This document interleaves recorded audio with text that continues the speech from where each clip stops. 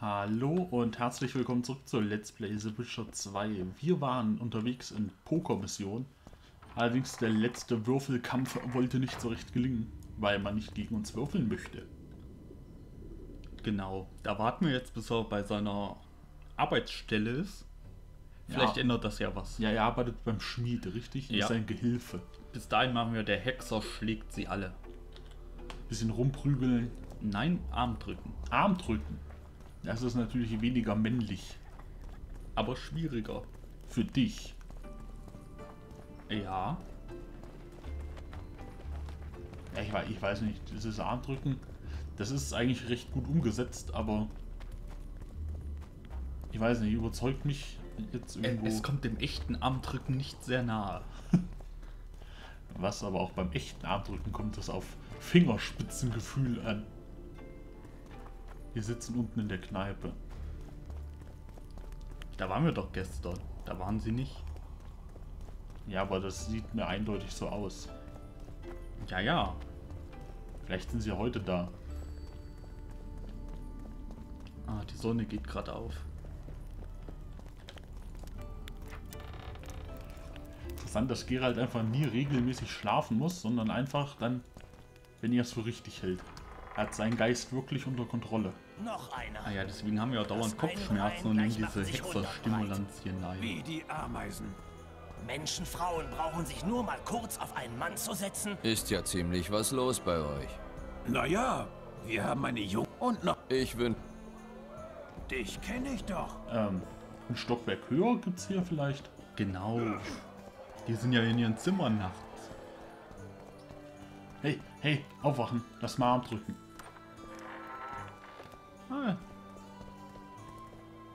Sultan. Rittersport. Mit denen könnten wir dann auch mal reden, aber noch schlafen. Da sind natürlich sonst auch nicht dran, mit den Leuten zu quatschen. Aber wir haben hier eine wichtige Mission. Erstmal. Hey, was sehen meine triefenden Augen? Gerald von Riva besucht den alten Jarpen Zigrin. Siehste, die freuen sich alle.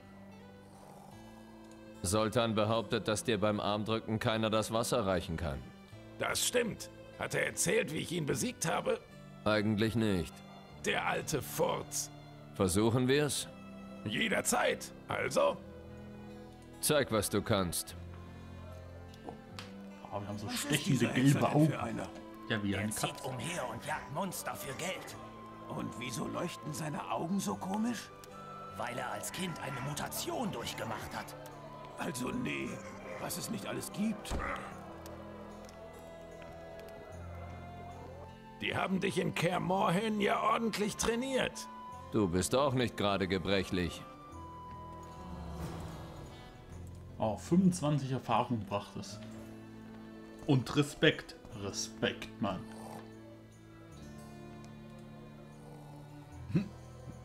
Soltan sagt, eure Leute seien Meister im Armdrücken. Wir waren mal unbesiegbar. Dann sehen wir doch nach, ob das noch so ist. Klingt gut.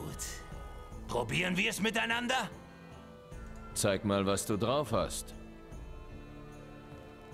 Weißt du, der Hexer, der ist schon was Besonderes. Schreibt die Geschichte ganzer Königreiche. Wie wahr? Ich verschaure, wenn ich nur drüber nachdenke.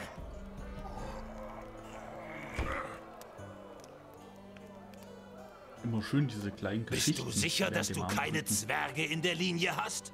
Das sage ich dir, wenn ich mich wieder erinnern kann. Das stimmt, das ist mir auch positiv aufgefallen. So, und wer ist jetzt dran? Äh, Skullen. Aber erstmal reden wir mit Rittersporn.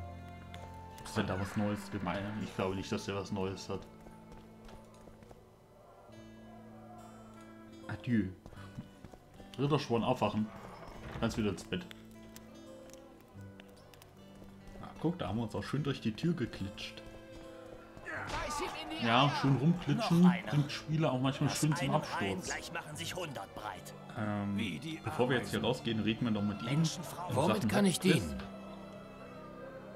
Ich suche nach Orten mit starker Magie. Fällt dir dazu eine Geschichte von Zauberern oder magischen Orten in der Umgebung ein? Abgesehen von der feuerspeienden Hündin vor drei Jahren? Hm. Im Wald hinter Wergen hat früher ein Zauberer gehaust. Sieh doch mal nach, vielleicht hat er was hinterlassen. Und sprich mit dem Drosten. Wenn einer Wergens Geschichte kennt, dann Cecil.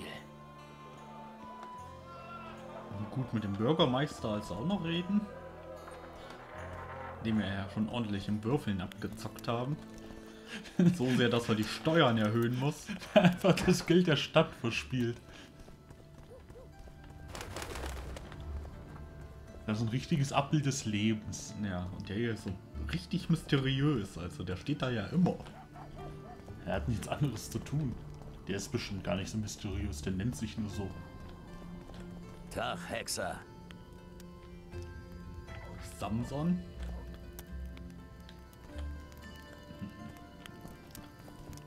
Der ist aber nicht hier unten. Nee. Aber da unten ist ein Eingang in dein Haus, oder? Ja? Oder zumindest irgendwo rein. Ja, ich sehe schon, ich kenne mich besser aus in Bergen. So, wo ist das Gold? Ich kam, um zu spielen, doch ich blieb, um zu Oh, ein. Fernrohr. das ist bestimmt irgendwelcher Plunder.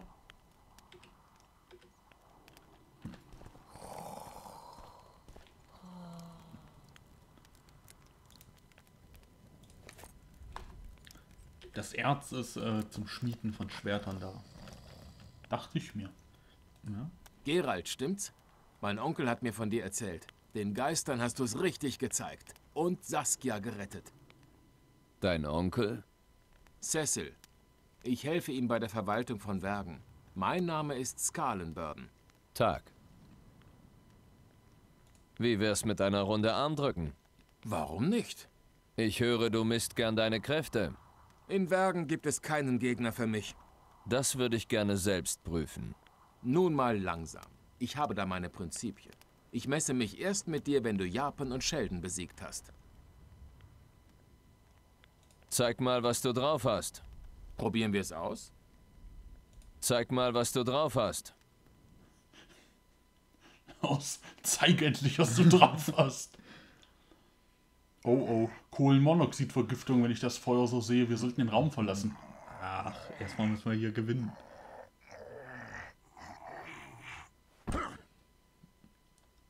Oh, da mussten wir aber ganz schön grunzen. um Eher hau ich mit meinem Schwanz einen Felsen durch, als dass ich dich beim Armdrücken bezwinge. Dann bin ich wohl der neue Meister von Wergen. Gegen den weißen Wolf zu verlieren, ist keine Schande. Mit dir lässt sich nur einer vergleichen. Wer? Der starke Numa. Ich bin in Kovir gegen ihn angetreten. Danach konnte ich eine Woche lang die Hand nicht mehr rühren. Angeblich betrügt er, aber vielleicht sind das auch nur die Ausreden der Besiegten. Wenn du ihn triffst, dann grüß ihn von mir.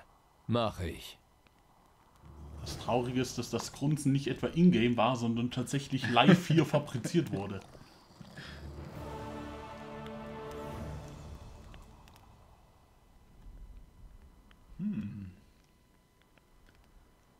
Ja, ich glaube, die Dialoge hier könnten ganz interessant sein. Zumindest Ja, interessiere ich mich auch für das Bergwerk. Ich, ich Das Bergwerk ist Bergwerke. sicher. Habt ihr weitere Pläne? Sicher. Gleich nach der Schlacht machen wir uns wieder an den Metallabbau. Die gewaltigen Vorkommen können Wergen viel Geld bringen. Soltan will eine Gesellschaft gründen. Er will die Förderung leiten, Cecil soll dem Ganzen vorstehen. Wenn's der Stadt zugutekommt? Was machst du, wenn's zur Schlacht kommt? An vorderster Front kämpfen. Ich bin schon erwachsen. Ein paar Kettwinnern in den Hintern treten. Hast du denn keine Angst? Wovor denn? Mein Onkel hält mich für gut. Japan bringt mir bei, mit dem Ball zu kämpfen. Ich spalte ein paar Schädel und gehe mich besaufen. Ja, Ich glaube, wir sollen ihn retten. Ach, meinst du? Ja, also wenn wir Bravo sagen, dann äh, sagen wir ja, geh an vorderster Front. Wenn wir das hier sagen, dann denkt er vielleicht, hm, vielleicht sollte ich doch erst in zweiter haben- Reihe. Wir haben ja gar kein inniges Verhältnis zu dem. Das ist Also, also, also ich finde ihn doch schon ganz nett. ja das schon, aber ich Wir meine, haben mit ihm Armdrücken gemacht. ja, wir sind ja aber hier nicht das Kindermädchen von allen Leuten und sagen ihnen, was sie zu tun und zu lassen haben. Schlachten sind chaotisch und diese ist deine erste. Du wirst töten müssen, durch Blutlachen warten und dich nicht erschlagen lassen. Willst du das wirklich? Um ehrlich zu sein, habe ich schon ein bisschen Schiss. Bisher habe ich nur ein paar Strohpuppen zerhackt. Wenn ich daran denke, was hier los sein wird. Was soll's, alle müssen ran. Aber bitte sag dem Onkel nichts. Ich habe mir schon mal eine gefangen für solche Sprüche. Von mir erfährt er nichts. Ich suche nach Orten mit starker Magie hier in der Gegend oder an denen vielleicht viele Zauberer zu tun hatten. Ich hatte gehofft, du könntest mir da weiterhelfen. Lass mich nachdenken.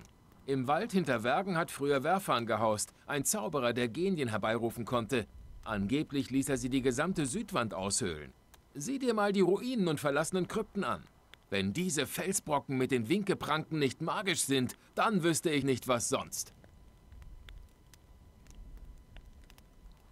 Winkepranken sind doch bestimmt die Harpien.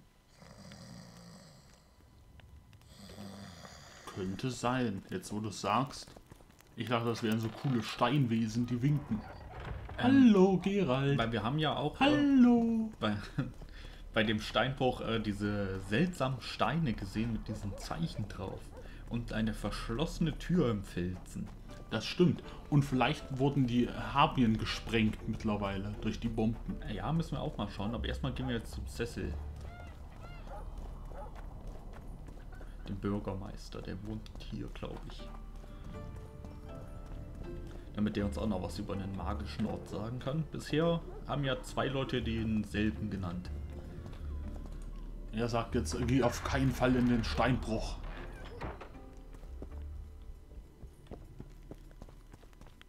Eigentlich schon ganz romantisch, so ein Zwergenhaus.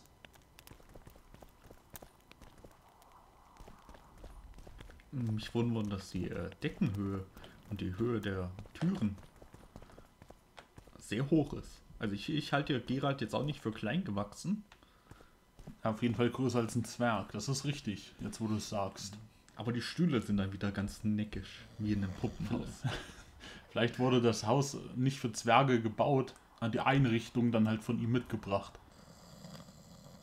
Ich glaube schon, dass die Zwerge dieses Haus im Felsen gebaut haben. Sprich über das magische Artefakt. Er, schl er schnarcht halt immer noch. Hm, jetzt nicht mehr. Machst du dir keine Gedanken, dass ihr mit Stannis zu weit gegangen seid? Verhätschelte Kinder glauben irgendwann, sie durften alles. Stannis hat nur gekriegt, was er verdient hat. Vielleicht geschieht gar nichts. Vielleicht bricht auch der nächste Krieg aus. Die Geschichte ist wie eine Münze, die einem aus der Hand fällt. Man weiß nie, wohin sie rollt.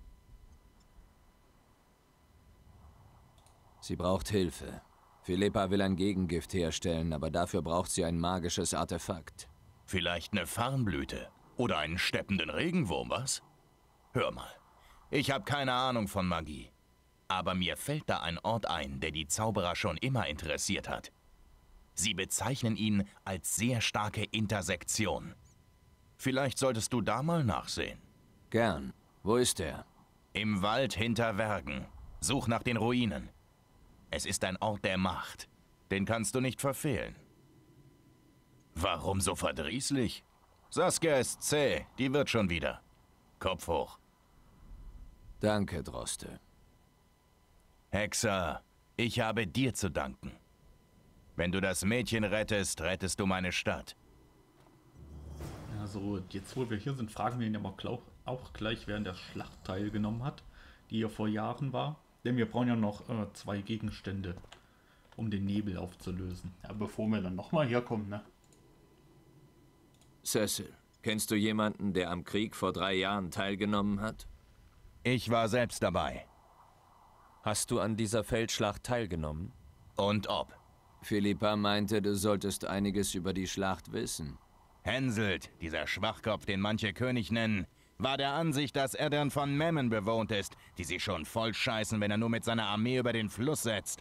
Warum hat er Edirn eigentlich angegriffen? Laut Henselt ist Ober-Eddern uraltes Erbe der Krone von Kedwin und muss dem Mutterland wieder einverleibt werden. Unverschämter Furz. Der unverschämte Furz liegt nicht ganz falsch. Aus den Geschichtsbüchern wirst du erfahren, dass dieses Land vor 300 Jahren tatsächlich zu Kedwin gehörte. Das und mein Arsch. Vor 700 Jahren waren die Elfen hier. Vor einer Million Jahren die Würmer. Da könnte ja jeder Depp mit seiner Armee beim Nachbarn reinlatschen, weil irgendein Vorfahr da mal einen Scheißhaufen abgesetzt hat. Gut. Henselt hatte also beschlossen, Obereddern zu erobern. Und dann? Er kam, bezog furchtbare Dresche und ging wieder. Du machst es mir nicht einfach, Cecil. Das war keine Schlacht, sondern ein Gemetzel. Wenn ich davon rede, habe ich alles wieder vor Augen. Ich will nicht. Im Nebel kämpfen die Geister der Gefallenen. Sie verwandeln sich in abscheuliche Geschöpfe, Drauguren genannt. Edirner, Kedwener, Menschen, Elfen, auch Zwerge. Verdammt. Nicht einmal im Tod haben sie Frieden. Ich will ihnen helfen, aber dazu muss ich erfahren, wie die Schlacht verlaufen ist. Also gut. Wenn du helfen willst, dann hör zu. Es war ein schöner Tag. Als Vandergrift nachmittags angriff, schickte er zuerst das graue Fähnlein in den Kampf. Viele von uns haben sich beim Anblick der Standarte in die Hosen geschissen. Aber wir hatten auch eine Überraschung für sie. Im Schutz der Nacht hatten wir Feuerwelle angelegt. Ich kann bis heute nicht glauben, dass wir ihre Späher reinlegen konnten. Wenn diese Falle nicht gewesen wäre, würden wir heute nicht miteinander reden. Obereddern gäbe es nicht mehr. Wir haben das graue Fähnlein zerschlagen, aber das war nur der Anfang. Seltkirk führte uns an. Wo er auftauchte, flohen die Kettwener. Beim Anblick seiner Rüstung lachte uns das Herz. Dann griff Van der Grift selbst ein. Seltkirk und er trafen in der Mitte des Feldes aufeinander. Schließlich erschlug Van der Grift Seltkirk. Ein schrecklicher Tod.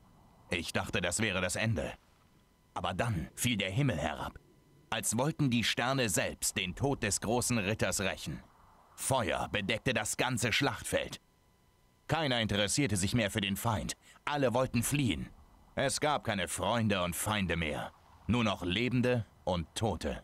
Es heißt, eine Zauberin aus Ketwen habe all das angerichtet, weil sie sich an Vandergrift rächen wollte.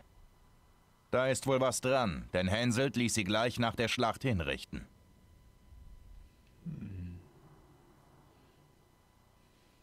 Ne? So war das. Ihr habt das graue Fähnlein besiegt? Hensels Elitetruppen. Nicht einer von ihnen hat überlebt. Der Besucher hat sie in den sicheren Tod geschickt und ihnen noch nicht mal Verstärkung gegönnt. Dieses Monster in Menschengestalt. Die Soldaten der Grauen waren echte Haudegen, haben gewaltig zugeschlagen. Doch auf jeden von ihnen kamen sieben der unseren. Sie hatten keine Chance. Wir haben ihre Standarte erobert. Was von ihnen übrig blieb, begruben wir in einer Krypta bei Wergen. Die Standarte ist auch dort. Die Gegner, auch die Toten, muss man immer achten. Ich werde diese Standarte brauchen. Hast du den Zweikampf von Seltkirk und Vandergrift selbst gesehen? Ich war recht nah bei ihnen. Einen solchen Kampf hatte ich noch nie erlebt. Und werde es wohl auch nie wieder. Es war ihr zweiter Kampf. Zuvor, bei einem Turnier in Art Carré, hatte Seltkirk den Sieg davongetragen. Vandergrifts Schwert war geborsten, sodass er aufgeben musste. Ein Ritter wie Seltkirk wird kein zweites Mal geboren. Man sagt, Van der Grift sei nach dem Turnier so zornig gewesen, dass er den Schwertschmied aufhängen ließ. Dann bestellte er bei einem Zauberer ein ganz besonderes Schwert. Es war bestimmt dieses Schwert, mit dem er Seltkirk dann erschlug. Van der Grift ist tot. Weißt du, was aus seinem Schwert geworden ist? Aber ja, Saskia hat es. Und das ist auch gut so. Nur ihre Hand kann den Hass kontrollieren, der darin steckt. Nach der Schlacht als die Flammen erloschen waren, kamen die Plünderer und stahlen, was sie kriegen konnten. Stell dir vor, in ganz Eddern gibt es kein Andenken an Seltkirk. Sein Bruder faselte etwas von Handschuhen, aber er ist ein Lügner. Ich danke dir, Cecil. Du hast mir sehr geholfen. Ich glaube, ich weiß schon, was ich zur Aufhebung des Fluchs brauche. Frau Eilhardt sagte, man bräuchte vier Symbole. Die Standarte symbolisiert den Tod. Van der Grifts Schwert, den Hass. Aber die zwei anderen. Philippa soll sie beschaffen. Sie sollte wissen, wo sie zu finden sind. Hoffentlich. So, das klingt doch ganz gut. Ja. Da haben wir jetzt einiges an Fortschritt gemacht. Und wir müssen ja in die Krypta, die ja außerhalb ist. Und die Harpien auch. Und deswegen gehen wir dann in der nächsten Folge mal beide Orte besuchen. Mal wieder auf Expedition. Bis dahin,